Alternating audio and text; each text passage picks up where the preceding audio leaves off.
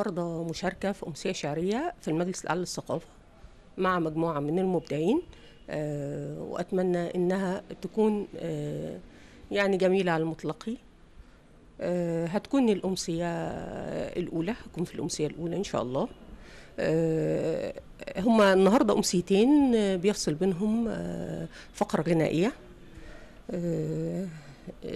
مجموعة الشعراء النهارده كلهم من وجهة نظري متحققين وعلى مستوى آه، عالي إبداعيا.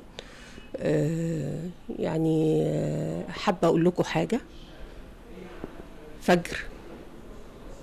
الكون مش طيب ولا عينه نزيهة ولا طول الوقت نهاره بيضحك على ليله ويسود النور سحر المشهد. طب ليه الخوف؟ رسمك ترحال. ما تعدي على العتمة تعافر. خلي الأوجاع سكر في الحلق. استدعي بتراتيلك موسى. بتخبي عيونك ليه من البحر. بتناجي كيان لضماه الفرقة. ارجع لهارون. الجأ لأمان جسدك في إيديه. هيقولوا عليك إنك خوان. بتبيع الحق في حارة جور. هينشفوا حلقك حد قميص يوسف ما يطق لساك مربوط عند زليخة. لسه سليمان بيحلق بيك حد الهدهد. مطواه سر البني أدمين. ارجع يا حزين اخطف نجمة من عين الليل. واركب في سفينة نوح عدي والضم بالضلمة خيوط الفجر.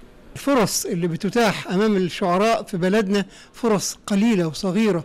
يعني بعض قصايد بتنشر في المجلات كل حين ومين. وندوات قليلة جدا فعشان كده بالمقابل أنا أي ندوة بقود عليها باجي على طول وبحضر وبحاول إن أنا آه، أدعو كمان زملاء من الشعراء ومن الكتاب عشان يحضروا هذه الندوة. فأنا طبعا محضر بعض القصائد اللي بتمثلني في الفترة الأخيرة دي وطبعا آه، أنا يعني من من ضمن الشعراء اللي هم غزيروا من من ضمن الشعراء غزيري الإنتاج. بكتب كتير جدا وعندي نصوص آه، كثيرة وعدد الدواوين اللي عملتها كتيرة لكن عدد الدواوين اللي- باقية لسه ما اتنشرتش أكتر وأكتر. فأتمنى بالفعل إن مش الندوة دي بس أتمنى إن يبقى في باستمرار في فرص آه، جيدة لكل الشعراء عشان يقدروا يتواجدوا بشكل جيد ويساهموا في الحياة الثقافية المصرية بشكل جيد. جاي أستفاد برضو من تجربة الأستاذ محمد فرغلي أستاذنا والحصل على جائزة أحمد فؤاد نجم وإن شاء الله يبقى يوم جميل بإذن الله. مش زنت الرجال عارف ولا أنت في جمال الحور غلبان في قلبي نور وسطور مليها كلام مملكش غير آلام وقلبي يسمع لك يحميكي في الدنيا في الآخرة يشفع لك ويطلبك منه والهاء ضمير عائد على الله العظيم إنه يجمعنا في الآخرة. وأنا برضو مش ولا بد يشبه كلامي الجد لكني والله طيب وعمر قلبي ما شال من حد أنا حد مش كالناس رافض أعيش متداس مش حلمي في الألماس ولا حلمي إن أختني.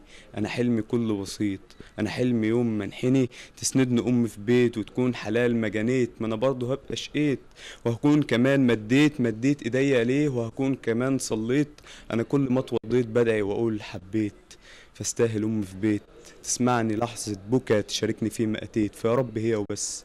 أنا قلبي بيها حس. وكل ليها بص. حبيتها حب قلوب حب العيون هالك وأنا حب لو مردود حالا هقولها لك. فما فيناش كتير من لك أنا من تاني بحبك. فقال أنت عندك شك. متعودين دايما إن المجلس الأعلى للثقافة بيقدم امسيات شعر آه، من كل آه، من كل محافظات مصر شعراء كبار بنتعلم منهم.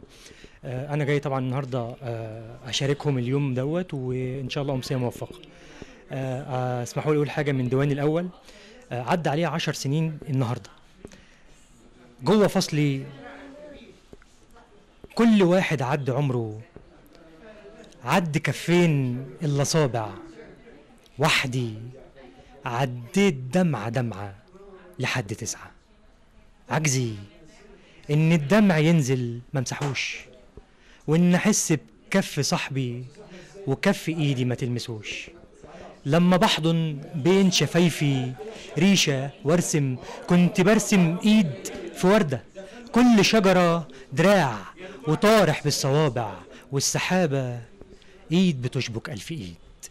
أما أمي لسه ريشة من جناحها بين شفايفي لسه بتقول إن كفي جنب قلبي زاد جماله فاختفى واني مهما الدنيا تشتي كفي وحده دون جميع الفصل حاسس بالدفى. علمت فم إنه ينطق وإنه يرسم. ليه في لحظة كل صورة رسمتها لها فرعت جناحين وطارت. أمي كفي والسما على حد علمي ما احتاجتش في يوم لكف. والفراق دايما بيشتي مهما مزن دموعنا جف. نفسي نفسي أشخبط ويا ريشتي عالسما قد أشف جناح لأمي أو ألاقي ملاك شاففني. ببكي بدل الدمع كف. نفسي نفسي كل كفوفكو ترسم. ما تحاربش. كل فترة بنعمل أمسية شعرية بتبقى فيها أصوات متعددة وأجيال متعددة ومذاقات متعددة واهتمام بالشباب على على يعني على وجه كامل. بحيث يكون في مزج بين آه، يعني ألوان الشعر المختلفة وأيضا الأجيال المختلفة. الأمسية هذه الليلة آه، أمسية كبيرة يعني عدد كبير من الشعراء. وطبعا بنراعي فيها التمثيل الكامل لكل ما هو آه، جيد للشعر. لأن لجنة الشعر لا تفرق بين شعر عمودي وشعر تفعيلة وشعر نثر أو يعني أي نوع من ألوان الشعر بحيث إن إحنا مش عايزين ناخد موقف من أي شعر. لهذا السبب تعهدت لجنة الشعر دائما أن ترحب بهذه الأصوات الجديدة إلى جانب الأصوات الثابتة أو الأصوات الكبيرة يعني. و يعني بنحاول أن ننشر الشعر دائما لكي يكون مذاق كل هاوي وكل عاشق لفن الشعر هذا الفن الجميل الإنساني. جاي النهارده أحضر أمسية شعرية. آه، الأمسية دي بتتيح لنا إن إحنا نطور من نفسنا أكتر نستفاد نلمس العيوب بتاعتنا نحاول نطور من نفسنا كويس. أنا شاعر آه، وهقول حاجة بسيطة كده. آه، ستي. لستي. اهداء لستي. في سنين عجاف في سنين عجاف هي الحياة. وقت الجفاف هي المطر. أو طوق نجاة. هي الأمان من أي سوء أو ضوء طريق بطول مداه. أي اتجاه لو يوم تفكر تسلكه. يطرح ورود قبل الأوان. تدخل مكان خطواتها بتسيب الأثر. ينبوع حنان يسقي الحجر في أوامي لين. شربة حنين تسقي الجميع. تروي الأيادي العطشانين. الناس ساعتها أجمعت على إنها بسمة أمل جوه عيون الضاحكين. وفي ناس معارضة برضو قالت إنها صفة من صفات طيف الملاك. وإن الملاك فوق في السما سامحوني عذرا إنما كل اللي قال إن الملاك فوق في السما كانوا الحقيقة غلطانين.